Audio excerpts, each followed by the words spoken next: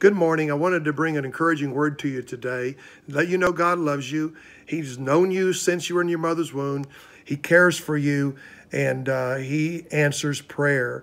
God loved us in the beginning. He gave His Son Jesus, and uh, we're so thankful for that. But we're living in a fallen world, and in that fallen world, we're subject to things like what's going on today. Even though we're the righteous, uh, we're subject to the possibility of, of this causing a problem for us. But we're trusting God and trusting God to heal people, trusting God to protect people, and we're being using wisdom and prudence. Uh, Jesus said, In this world you will have tribulation, but be of good cheer. I've overcome the world. Isaiah 53, verse 1 says, Who has believed our message, and to whom has the arm of the Lord been revealed? He grew up before him like a tender shoot, Uh, and like a root out of the dry ground. He had no beauty or majesty to attract us to him, nothing in his appearance that we should desire him. He was despised and rejected by men, a man of sorrows and familiar with suffering, like one from whom men hid would hide their faces. He was despised, and we esteemed him not. Surely he took up our infirmities and carried our sorrows. Yet we considered him stricken by God, smitten by him, and afflicted. But he was wounded for our transgressions, he was crushed for our iniquities. The punishment that brought us peace was upon him, and by his wounds we are healed. Another version, by his stripes we are healed.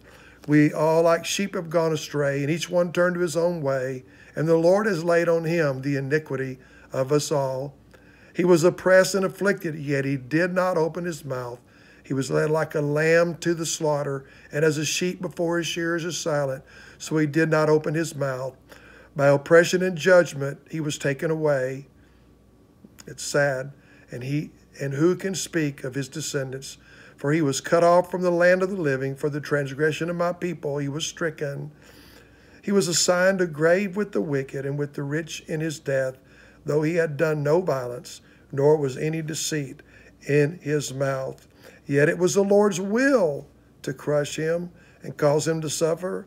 That was for us. It's God's will that Jesus died on that cross. And though the Lord makes his life a guilt offering for us, a guilt offering.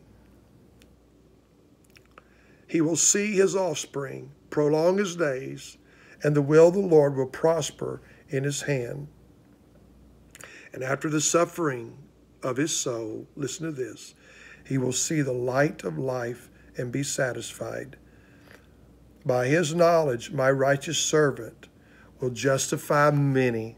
That's you and me. Justify means it's a really an accounting word that balances the books. To justify is to think of it this way, just as if you hadn't sinned. That's what Jesus did. And he will bear their iniquities. Not only sin, but iniquities, the, the scars of sin, the stains of sin. Therefore, I will give him a portion among the great, and he will divide the spoils with the strong, because he poured out his life unto death and was numbered with the transgressors. For he bore the sin of many and made intercession for the transgressors. Aren't you glad for Isaiah chapter 53, so many years before Jesus came and died on that cross, prophesied. And one of the reasons we know that Jesus Christ is the Messiah, God the Son, and He loves us. And I want you to know today there is no fear in the perfect love of God, the Bible says. And so if you know God loves you perfectly, you know He's got you in His hands. Don't fear. It'll be okay. But also use prudence, wisdom. Some people are all faith and no love, or all love and no faith. Um, there, some people are, are all wisdom and no spirit. God wants us to have it all. And right now, we need wisdom and we need direction of the Holy Spirit. And we need to know that God loves us and love each other and forgive each other. And let's make our hearts right with God. And let's start valuing the church more valuing beyond measure. And when we come back together, it's going to be the best Sunday ever, ever we've had. You wait. Let's all do it. Let's forgive each other and let's be the church. I love every one of you. Jesus, please heal those that need healing and be with those that need uh, your comfort and your encouragement, God. Make provision for everybody that that uh, is uh, listening today and, and those that aren't, God. And may uh, this uh, this word of encouragement really by your Spirit make a difference. In Jesus' name, amen.